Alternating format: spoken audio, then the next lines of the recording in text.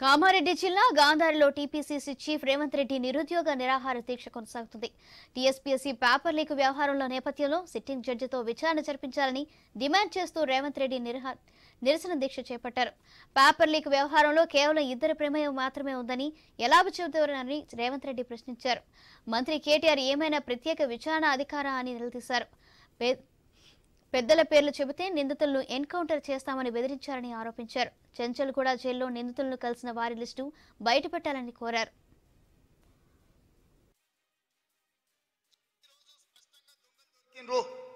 ఈ దొంగల్ని కాపాడడానికి నిన్న కేటీఆర్ హడావిడిగా బయటకు వచ్చేసి వీళ్ళిద్దరినే నేరగాలుగా చిత్రీకరించే ప్రయత్నం చేసిండు.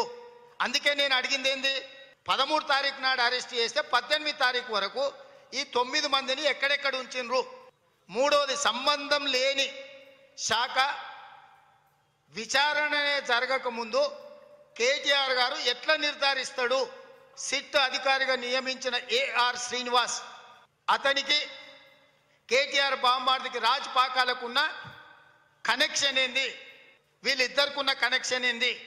సో ఇప్పుడు కేటీఆర్ బావమర్ది రాజ్ పాకాలకు అత్యంత సన్నిహితుడైన అధికారిని అక్కడ నియమించడం ద్వారా సిట్ అధికారిగా రాష్ట్ర ప్రభుత్వ పరిధిలో పనిచేసే అధికారులు ఈరోజు రాష్ట్ర ప్రభుత్వంలో షాడో ముఖ్యమంత్రి ఉన్న కేటీఆర్ ఇచ్చిన స్టేట్మెంట్కు వ్యతిరేకంగా నివేదిక ఇవ్వడానికి అవకాశమే లేదు.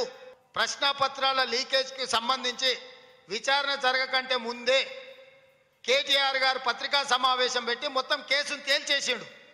కాబట్టి ఈ కేసులో ఇంకా నిజమైన నేరగాళ్ళను ప్రభుత్వం శిక్షించదు. నిజమైన నేరగాళ్ళు డైరెక్ట్ కేటీఆర్ అండ్ కేటీఆర్ పేషి పాత్ర ఉన్నది ఇందులో. కాబట్టి ఇది సిబిఐ చేత విచారణ జరిపించాలి. సిబిఐ విచారణ చేయడానికి రాష్ట్ర ప్రభుత్వానికి ఏమైనా శశభిషలు ఉంటే సిట్టింగ్ జడ్జి చేత పర్యవేక్షణలో విచారణ జరగాలని